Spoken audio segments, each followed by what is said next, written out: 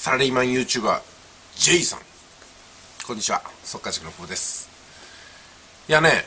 一日一生いいんじゃないですか？そういう気持ちでやっていくと。やっぱりこういろんな言葉を知っていてその言葉を自分なりに落とし込んでいると強い指針が立ちますよね。えそしてその同じ言葉を使ってる人にやっぱこう感銘を覚えたりね共感を覚えたりします。これすごくいいことだと思います。で言葉を軽視する人要するに言葉っていうのは概念が具現化したものですから言葉を軽視する人はやっぱりねあの思考を軽視しがちですよね。で自分の考えが正しいに違いないと。そして誰かの導き出した答えが自分好みじゃなかったらお前は間違えていると。やり直せみたいな感じになってきます。そうではないんですよね、うん、やっぱりこう一人一人えー、一人一人向かうゴールは同じでも例えばね山登りする時に同じ頂点を向かうにしてもいろんなルートがあるんですよ。いろんな乗り物があるんですよ。いろんな歩き方があるんですよ。休憩もどこで取ってもいいんですよ。でも進めばゴールにたどり着くんですよね。で最も早くゴールにたどり着きたかったらまっすぐ走ることです。ただし斜面は急です。事故も多いです。その道を選ぶのか安全策をとってこういうふうなルートを取ってね麓から徐々に上がっていって体を慣らしながら休憩しながら行くのか。人生には限りがありますんでいくらでも時間使っていいんだったら1万年かけて頂点に向かえばいいんですけどもそうもいかないですよね。だからといって人生は短いからといって焦ってしまえばね転落の危険があります。ビジネスにもすごく当てはまることだと思います、私はそういう意味でね3年を1タームだなと思って考えてるんですよ。3年かけるつもりでやれば1年で大体終わってきた。っていうのが私の実感ですよね。でも中には1年もやらないのに値を上げたりこの道はダメなんだと思ったり指導者が悪いっていうふうに決める人もいます。えそしてですね全ての方法が正しくって360度全部が100点満点でも不合格になることがあるのがこの世の中でございます。そんな甘いもんじゃないってことですよね。じゃあねそろそろ5択はこの辺にして今日もね J さんのご覧のように。ご覧のようにね。YouTube チャンネルちょっとざらっと見ていきます。ご覧のように上位の20個の10個か。10個の動画のうちに9個がですね1つのビックリマンを除いて似たようなサムネイルと似たようなタイトルになってます。要するにこれが視聴者さんから見た J さんなんですよ。サラリーマン YouTuber J と書いてますけどもこの J さんは特別定額給付金について話す人なんだなっていうふうに理解されてるんじゃないですか？この視聴者数を見ると。1万には至らないですけども数千回回ってるののほとんどが政治系特に資金供給系です。政治と我々国民生活をどのように結びつけていくか。その結びつけ方が10万円の一律給付こういった一本の紐になっている。これを表現してるのが J さんではないかなと思われてるんですよね。ということはね単純にファンを増やしたかったらこの動画を日々量産していけばいいってことになります。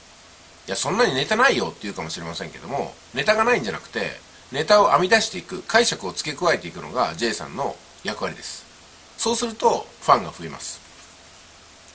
ただしねこれね出口が他力本願なんですよ。そこは気をつけないといけないです。しかもこの出口が来た時に J さんはもう途方に暮れるんですよ。そういう反動もあります。どういうことかっていうことを申し上げますよ。特別定額金の10万円。このネタが尽きた時にアクセスは伸び悩むでしょ。うだから10万円頼りなんですよ。で仮に10万円が出たとしますよね。そしたら J さんの役割終わっちゃうんでじゃあ今度ね新しいネタになったところで10万円でついてきた人は10万円じゃなくなった瞬間みんないなくなるんですよ、まあ、ですんでかなり反動もあるってことですよね。だからどういうふうにねこれを次のテーマにつなげていくかってことですけども、うん、例えば特別定額給付金10万円を、まあ、引いて言えばねえー、この国の財政論にすり替えていったりとか実は私たちから税金を吸い上げる必要はないんだよって形で消費税廃止もしくは全ての税金っていうのは実は財源になってないよっていうふうな財源論に持っていってそこから MMT に持っていくとかね。